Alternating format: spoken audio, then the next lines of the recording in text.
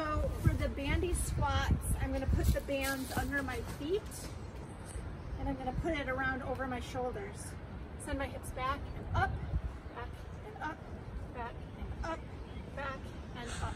From the side, my hips